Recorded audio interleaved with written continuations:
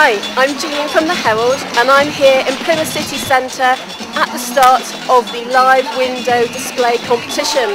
Now city shops are going head to head, let the judging commence and let's take a look through the square window.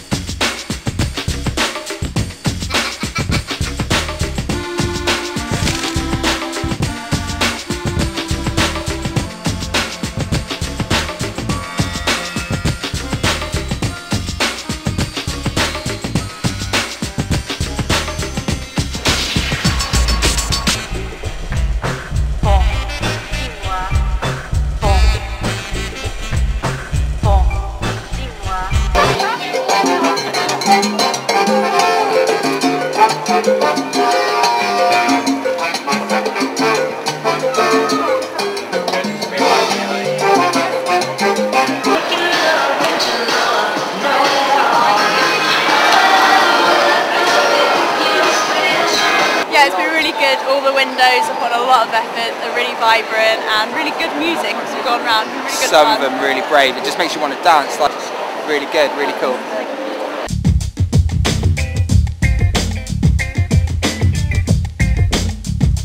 Uh, yeah, we're enjoying it. We're loving it in the window. Everybody watching us. It's good fun. Can't stop giggling.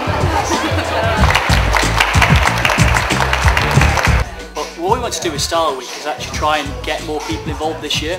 So the live shop window competition was a really good opportunity to do that. And walking around town and judging for the last two hours has been fantastic.